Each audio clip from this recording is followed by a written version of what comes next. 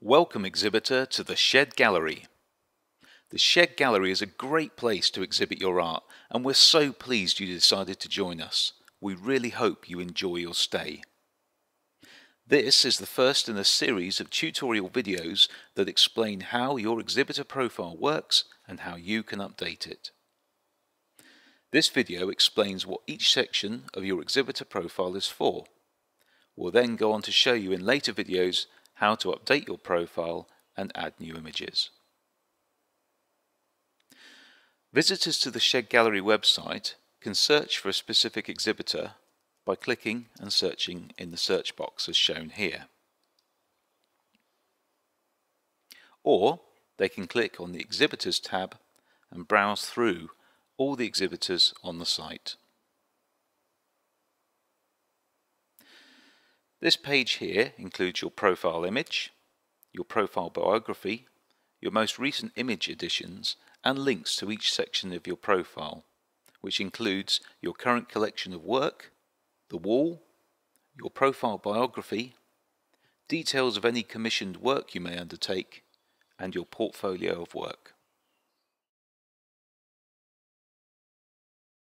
Okay, so let's explore an exhibitor profile.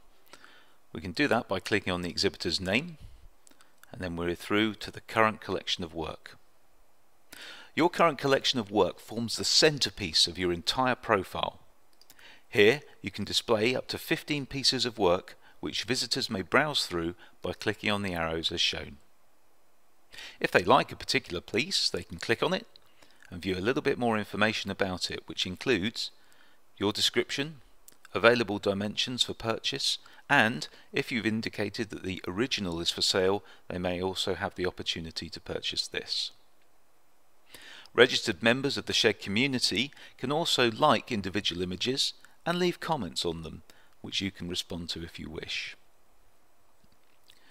The website keeps track of the most viewed images on the website over a period of time and shows these on our home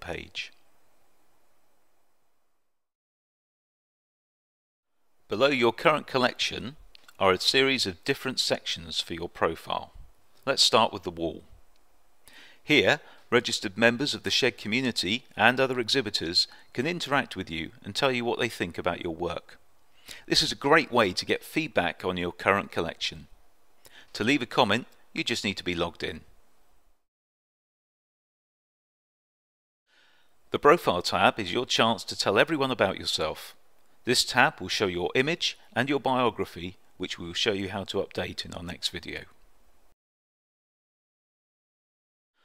The Commission tab tells visitors if you accept commissions, shows examples of previous work and lists the type of work you undertake as well as the days you are available and your price range. If a visitor wants to request a commission, they can fill in the form and we will put you in touch with them. Portfolio tab gives you the chance to exhibit other examples of your work that are not in your current collection. You can organize these into groups or collections of work as you want. Don't worry, we'll show you how to do that in another video. Finally, don't forget the sharing options along the top of your profile page. This is a great way for both yourself and visitors to share your work, so make sure you use them.